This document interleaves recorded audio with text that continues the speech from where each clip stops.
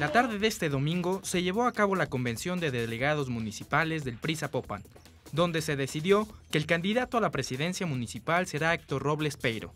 En su discurso, Robles enfatizó que no será él quien entre a la guerra sucia en las campañas que comienzan en abril próximo. Con respeto y tolerancia a la oposición para reintegrarle a las contiendas políticas de este Estado la civilidad y la propuesta, cerrándole el paso a la difamación, a la calumnia y a la descalificación.